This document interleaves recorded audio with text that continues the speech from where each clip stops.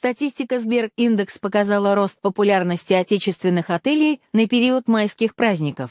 Продление праздничных выходных в этом году способствовало росту показателей потребительской активности в сфере туризма. Нынешние затраты населения на отдых на 5% превысили последний допандемийный период в начале марта прошлого года. Падение покупательского спроса отмечается в ресторанной сфере и торговле одеждой и обувью. Эксперты связывают это с временным похолоданием. Подробнее на нашем сайте.